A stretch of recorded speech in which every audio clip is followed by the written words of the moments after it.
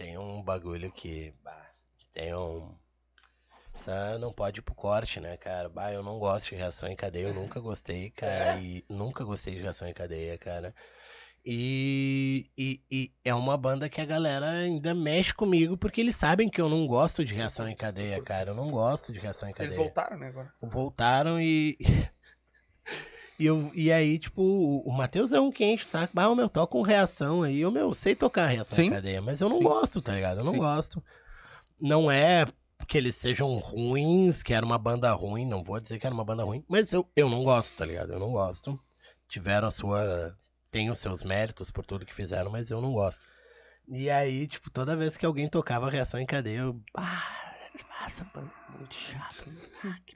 Nós tocava aquela. Todo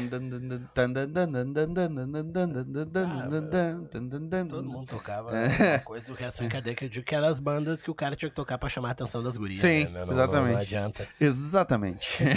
Eu, meu, puxa o violão ali. Aí puxava, encontrei o inferno baiano, é. é, até hoje é. Não, uh, vou ver se eu lembro. Faz, dá um sol aí. É, se eu não me engano, é sol, ré e dó. Que era. Ah.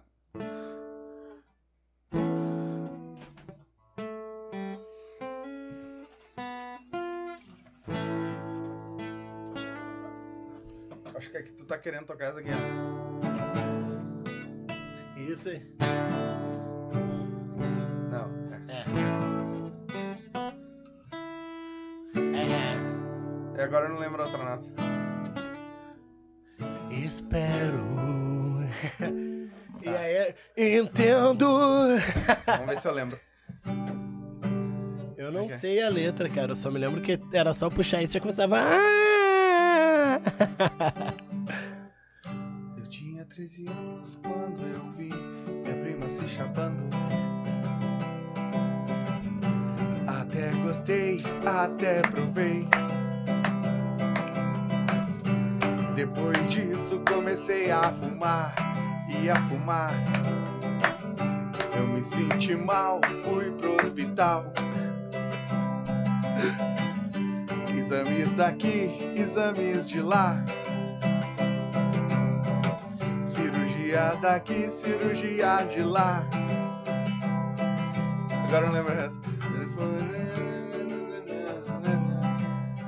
Não lembro o resto. Punk rock puro. Três notas e vamos lá, né, É meu? isso aí. É. Era essa, essa pegada. Vamos mais um som aí? Vamos. Porque o cara. música aqui é tu, né? Eu só fiz só É, pra. Tu é multi-instrumentista Não. também, né, meu? Depois a gente tem que falar da nossa banda de vaneira. É, putz. Não, eu já passei por ela que é pra nem falar. O homem tocava Pablo, cantava Pablo. Pablo da Sofrência.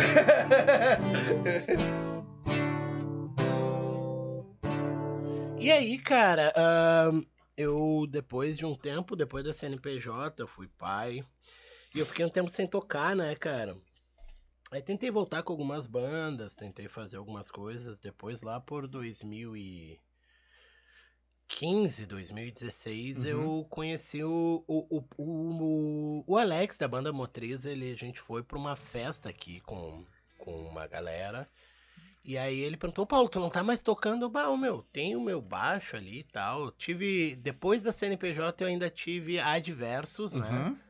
Aí adversos, eu saí da adversos por algumas, alguns problemas pessoais na época, assim, eu tava precisando resolver algumas coisas. Uhum. E aí eu entrei pra depois na Reivento com o Lê, né? Uhum. Já, Lei os Lembro. Gêmeos, o Lei os Gêmeos, a gente gravou um EP, Uhum. tudo.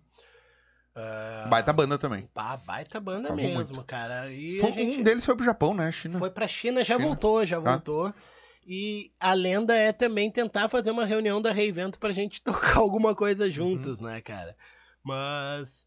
E, e aí, cara, nesse meio tempo, o Alex me encontrou e me apresentou o, pro, Christ, cara, que eu digo que é o meu casamento mais recente, assim, musicalmente, é o meu irmão que me abriu portas pra coisas maiores, assim. Uhum. A Neo é uma banda que também, cara, é, é- é uma banda que cantava um som em inglês, meio anos 90, assim.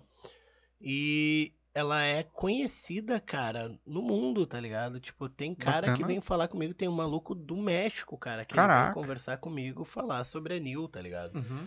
Porque algum malandro achou interessante uma música da Neil e botou como se fosse uma música inédita do Nirvana, tá ligado? Que era bem Ué? parecido o som, assim, era bem parecido. O Ícaro na época cantava meio parecido com, o- com o Kurt também. E aí a banda começou a ficar conhecida no mundo por causa desse vídeo no YouTube. Tá, não e é, aí- não é essa banda que é cover de Nirvana? Não, não, essa é a Bleach. Ah, Bleach. Ah, e aí, com o Anil, cara, eu acabei entrando. Quando eu conheci o Christ, que era o Batera, ele. O Christ é um dos baita músicos de Porto Alegre. O cara toca bem qualquer instrumento que tu largar na mão dele. Assim, o meu cara toca muito bem. Ele trabalha de road. Hoje ele toca guitarra com o Duda Calvin, pra ter uma noção. Vai, o cara toca só. guitarra no, com o Duda Calvin. Ele tem uma banda também que ele toca batera com som autoral Uhum. que é o Wolf Trucker, tá ligado? É uma banda que faz um som mais pesadinho, assim. E é interessante também, cara, o som deles é um som mais puxado pro stoner, pro, pro, pro, pro som mais metal, assim, Sim. né? Mais pesadinho. E é uma banda que semana passada eles estavam abrindo pra uma banda gringa ali no, no, no, no gravador pub ali. Abriram pro Vintage Caravan, que é uma banda bem conceituada dentro desse meio do stoner, assim. Uhum. E aí ele me acabou me puxando da New, ele acabou entrando pra Bleach, que é essa cover de Nirvana. E, e ele, numa dessas, o batera da, da Bleach acabou sumindo su- sem dar aviso, assim. E numa quinta-feira ele me chamou, meu, vamos tocar sábado em Santa Cruz, tocar uns Nirvana aí.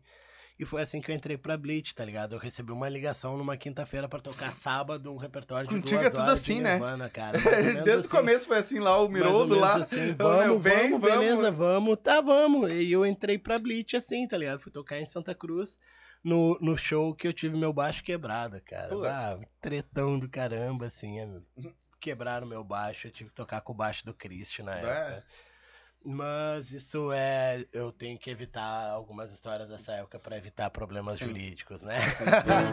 Mas, ô meu, tocar com a Bleach, cara, foi um negócio que foi meio que realização de sonho, assim, cara. Porque quando eu comecei a tocar, eu queria ter uma banda cover de Nirvana, tá ligado? Uhum. Aí eu acabei entrando numa banda que já tem. já tinha quase 20 anos de história. Sim. Que já tinha um público, que já era conhecida por ser a cover de Nirvana mais tempo em atividade no sul do país, ainda é, né? Uhum. Eles ainda estão, né? ainda estão em atividade, né? E eu tive sete anos, cara, com, a- com eles, assim. Sete anos, cara. Sete, deixa eu ver. Seis anos, seis anos, eu Porra, acho. mas é um seis a tempo, sete anos né? foi bastante tempo, cara. Que eu toquei com a Bleach ali e foi onde me abriu. Cara, cruzei o estado. Fui de norte a sul do estado com eles, assim, fazendo show. Tocando Nirvana, que é a banda que me influenciou a começar Sim. Uhum. a realmente querer ter uma banda real, assim. Então, tipo, nesse meio tempo antes da Bleach, eu fiz radar, né, cara? Sim. Eu fiz radar, eu fiz alguns outros shows, assim. Uhum. E eu acabei tocando no Opinião. A primeira vez Sim. que eu botei os pés no Opinião foi tocando com a Bleach, tá Uhum. ligado? Bah, toquei, foi emocionante, assim, porque tocar no Opinião é uma coisa que o cara, quando começa a tocar, é uma coisa que o cara sempre quer tocar no Opinião, porque é o palco da É a Opinião, música, né? né? Do, do- de Porto Alegre, né? Um dos templos, assim. E acabou que, cara, toquei com a Bleach, toquei o estado todo.